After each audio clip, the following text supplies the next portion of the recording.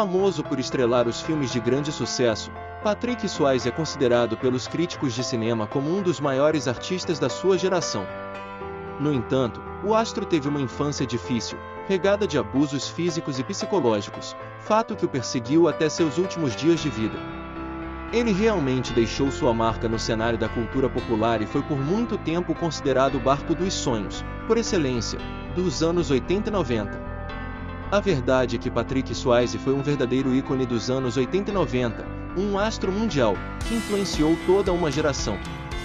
Mas mesmo sendo famoso por seus papéis principais românticos e movimentos de dança inimitáveis, nos bastidores, Patrick Swayze passou por muitas lutas secretas ao longo de sua jornada para a fama, e também mesmo depois de ter alcançado o topo. Nascido no dia 18 de agosto de 1952 em Houston, Patrick Wayne Swayze era ator, dançarino, cantor e compositor. Quando jovem, o artista estadunidense participou da Liga de Futebol Americano, mas foi na arte que encontrou sua verdadeira paixão e vocação. Seu pai trabalhava como desenhista de engenharia e sua mãe era uma dançarina e instrutora de dança bem-sucedida e famosa, que dirigia seu próprio estúdio de dança. Desde cedo ficou claro que o jovem Patrick Swayze tinha um carisma e uma qualidade de estrela únicos.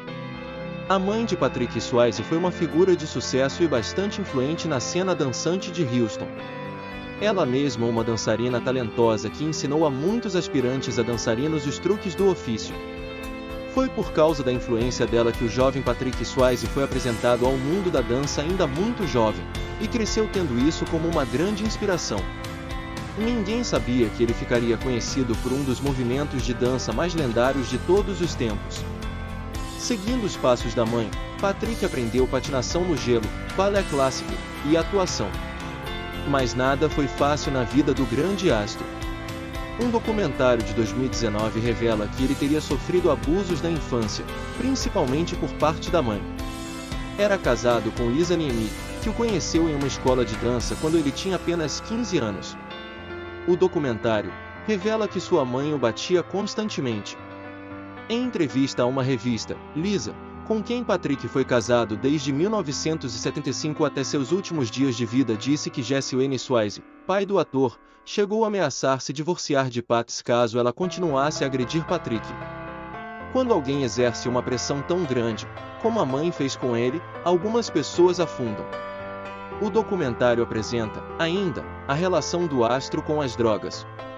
Um amigo íntimo de Patrick chegou a revelar que o ator fumava cerca de 60 cigarros por dia.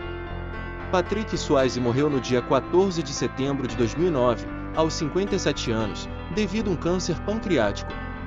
Sua companheira ao longo de mais três décadas, Lisa Niemi, realizou o último pedido do astro, ser cremado e ter as cinzas espalhadas na propriedade no estado americano do Novo México, cercada de belas montanhas, florestas e lagos. Um paraíso na Terra para quem gosta de contato com a natureza. Segundo os laudos médicos, o fato do ator beber e fumar, mesmo após ser diagnosticado com a doença, agravaram sua saúde. Há um componente de autossabotagem que acompanha o fumo pesado e acho que isso era verdade para Patrick, disse o oncologista do ator.